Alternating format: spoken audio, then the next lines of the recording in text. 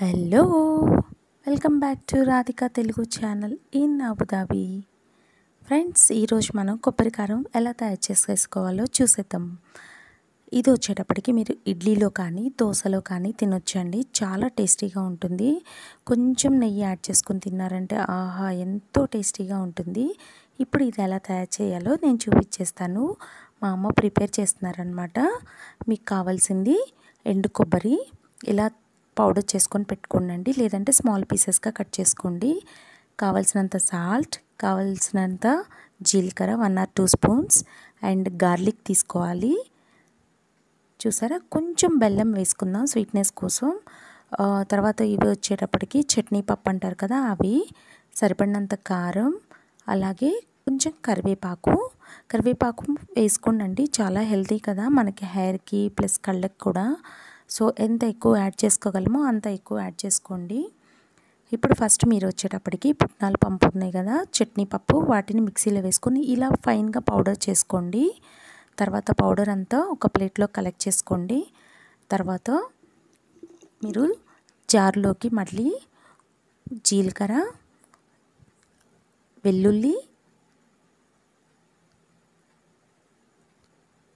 కొంచెం సాల్ట్ మనం ఎంతైతే తీసుకొని పెట్టుకున్నామో స టేస్ట్కి సరిపడినంత అంత సాల్ట్ వేసుకొని గ్రైండ్ చేసుకుందాం.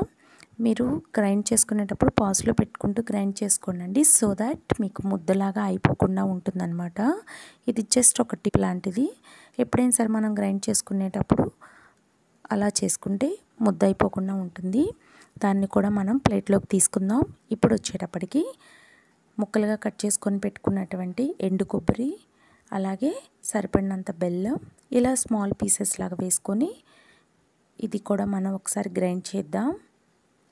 దానిలో కొంచెం కారం మీకు ఎంత కారం కావాలో అంత. అలాగే కరివేపాకు. చెప్పాను కదా మీరు ఎంత ఎక్కువ వేసుకోవాలనుకుంటే అంత ఎక్కువ వేసుకోవచ్చు. టేస్ట్ పెరుగుతుంది కానీ ప్రాబ్లం లేదండి. అంతే దాన్ని కూడా గ్రైండ్ చేసుకుందాం.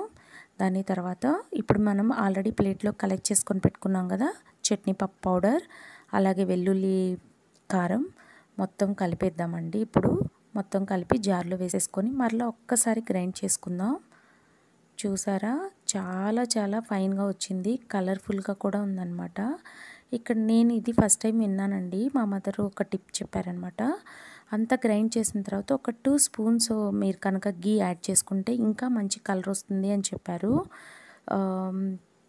నేను అడిగాను ఏమైనా ప్రాబ్లం ఉంటుందా తర్వాత అని. లేదండి.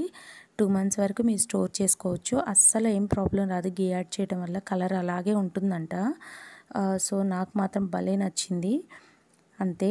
అయిపోయింది మన కొబ్బరి కారం నేనైతే చాలా చాలా కష్టపడ్డానండి తయారు చేసుకోవడానికి. బట్ మా అమ్మ చేస్తుంటే చూస్తుంటే చాలా సింపుల్గా అనిపించింది. అండ్ మనం ఈజీగా తయారు చేసుకోవచ్చు కదా. మా బాబుకైతే చాలా ఇష్టం అనమాట కొబ్బరి కారం వేసి పెడితే ఏదైనా తినేస్తాడు. సో దానికోసం నేను నేర్చుకున్నాను ఈరోజు కొబ్బరి కారం అంతే మీరు దాన్ని మొత్తాన్ని ఒక ఎయిట్ ఎయిట్ కంటైనర్లో మాత్రమే కలెక్ట్ చేసుకోండి. ప్లాస్టిక్ కంటైనర్స్లో అస్సలు పెట్టొద్దండి. That's it thank you for watching